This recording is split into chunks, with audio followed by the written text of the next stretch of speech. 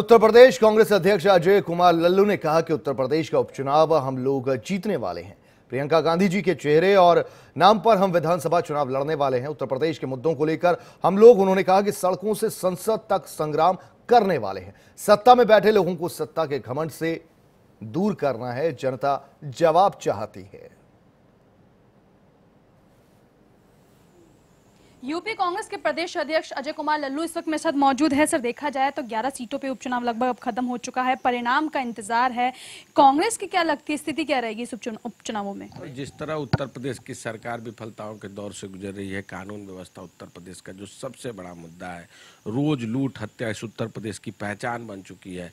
चाहे वो कमलेश तिवारी की हत्या हो या कल ही गोरखपुर में एक हत्या हो गई, परसों बनारस में एक हत्या हो गई, कहीं ना कहीं उत्तर प्रदेश का जो चेहरा है निश्चित जो भारतीय जनता पार्टी का जो चेहरा है उत्तर प्रदेश में झलक रहा है जनता उदास है और इस चुनाव में इनको सबक सिखाने जा रही है। लॉ एंड ऑर्डर पे आप लोग लगातार सवाल उठाते हैं और देखा भी गया कि आप भी मिलने के लिए गए थे। ऐसे में विपक्ष के तौर पे सत्ता पक्ष ने जो है सीधे तौर पे जो है आप पे ही वार किया। उनका साफ़ तौर पर कहना है कि अब लगातार आप लोग नसीहत देते हैं आप अपना समय भी देखें।